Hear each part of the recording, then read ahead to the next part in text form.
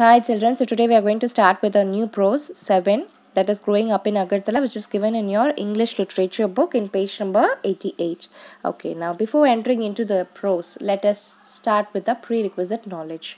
So you have to write the two answers for the given two questions. That is the first one, who is your favorite sports person? For example, I like MS Dhoni, so I will be writing MS Dhoni. And look at the second question what does he or she play? I have written MS Dhoni, yes, as my favorite sports person. What does he play? Cricket. So I will write cricket in the second dash. Okay, so likewise, you have to complete your favorite sports person name and what does he or she play. Hope you're clear with it. So, children, uh, this lesson, Growing Up in Agartala, is an extract adapted from the book called The Small Wonder. So, this book is all about India's first ever female gymnast to compete in the Olympics. You know who it is? It's Dipa Karmakar.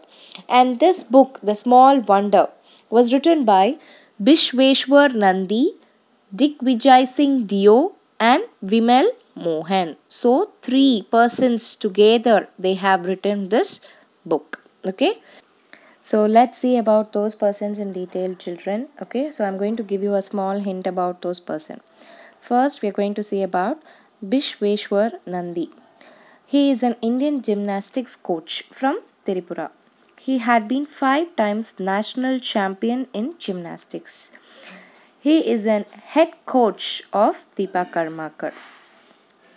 Next, we are going to see about Digvijay Singh Deo and Vimal Mohan. They both are sports journalists and co-authored the Small Wonder book along with Bishweshwar Nandi.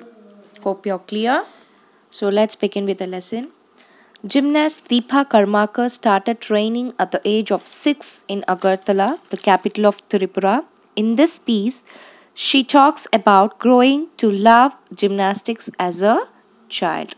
So here we can understand that Dipa Karmakar started her training at the age of 6 and where she started her training in Agartala. Agartala is the capital of Tripura and here she narrates her love towards gymnastics as a child. So, shall we move on to the next para? Put your finger. Unlike what was written about me after my Rio performance, I did not exactly fall in love with gymnastics from day one. For me, it was something new, and every child takes time to get used to a new setup. I used to go every day to the Byamagar after school, spend a few hours there, complete my exercise, and return home. I was too young to understand what was going on, but I loved coming home and telling my elder sister Pooja what I had done that day at practice.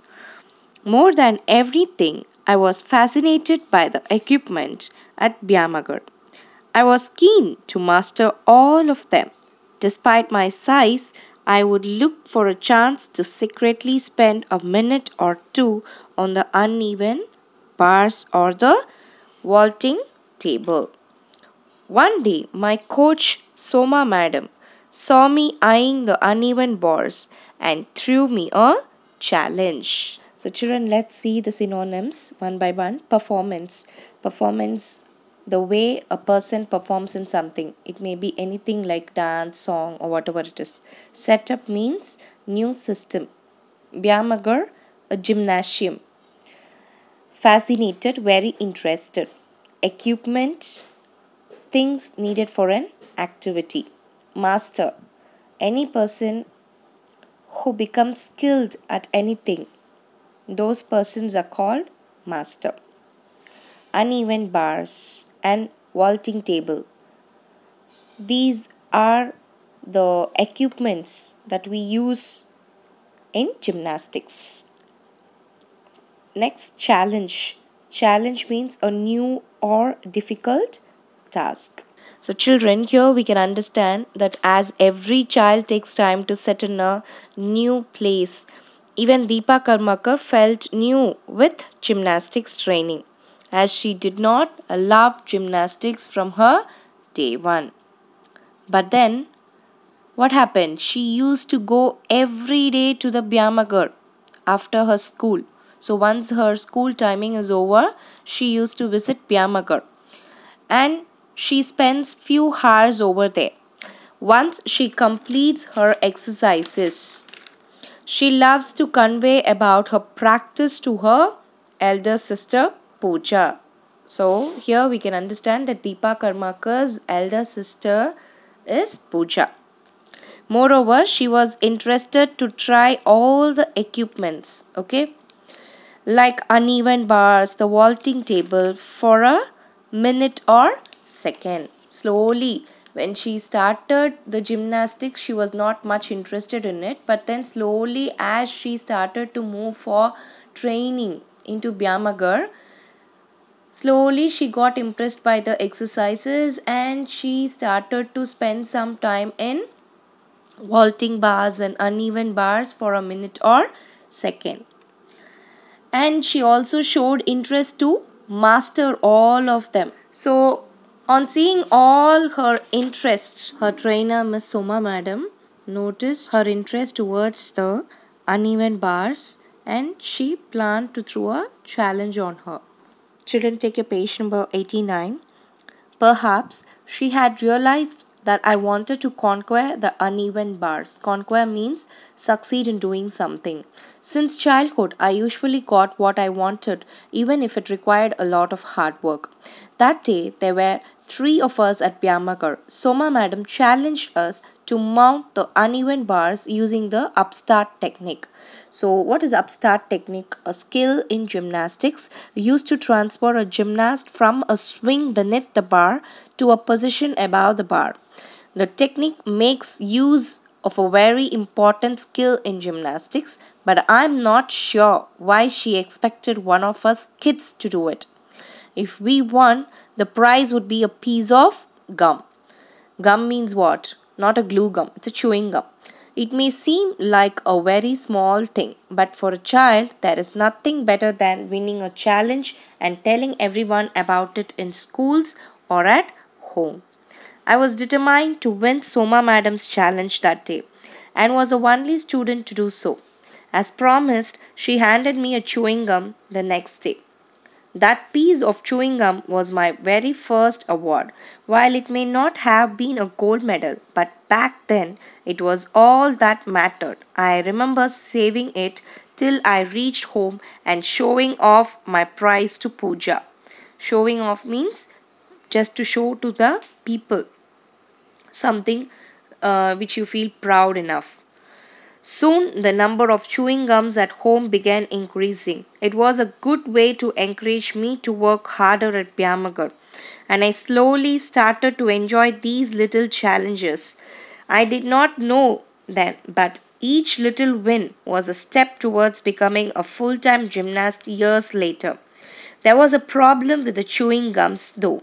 Back in those days, each piece of gum came with a small sticker inside the packet. So here we can understand one thing that Soma madam when she threw a challenge on uneven bars with upstart technique among the three of them who was present on that particular day at Byamagar, who was the one who won the task? Yes, it's Dipa Karmakar. Dipa Karmakar was the one who won the task.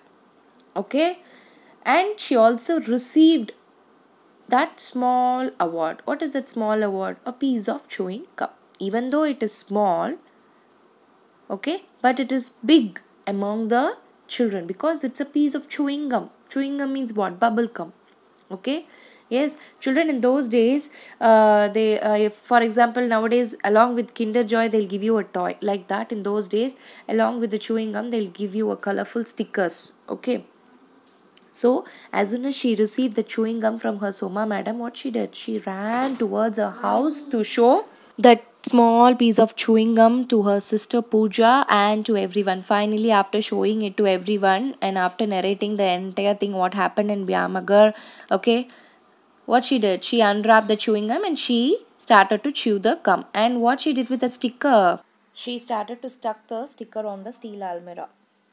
So children here we can understand that at the beginning Dipa was not much interested in gymnastics. But what happened later on? When Soma madam threw her a challenge with a small piece of chewing gum she tried to accept the challenge. Yes because she wanted to get that small piece of chewing gum. Yes? So in order to get that small piece of chewing gum she started to show her best things out. So finally now she is India's first ever female gymnast to compete in the Olympics. So from here we can understand even a small appreciation or a small gift will take any person towards their long achievement. Okay, now come to page number 90. Pooja and I loved collecting those stickers and we ended up sticking them on a steel almirah that was in one of the rooms. Over a period, that entire almirah came to be covered in these stickers with photos of dolls and dragons. It really caused my father to flare up. One day, when he discovered, flare up means become angry suddenly. Discovered means identifying, okay, finding something what we were up to. Both of us got a massive, massive means huge scolding. That Almirah, massive scolding means huge scolding. That Almirah, though, is still there in the house and so are the stickers on it. So still Dipa Karmakar is having that steel Almirah, okay, along with those stickers. Dipa and Pooja they both started to collect the small stickers okay which were in each piece of chewing gum and they started to stuck on the steel almirah which was the one in their house okay? Yes? And still it is there in their house yes with all those stickers yes? So here dipa karmakar is remembering those days okay on seeing that uh, steel almirah yes? So once when their father uh, saw that steel almirah which was stuck with uh, stickers of dragon and dolls he got angry and he started to scold Dipa and Pooja for it okay? So that's how Dipa ends her narration about her love towards gymnastics as a child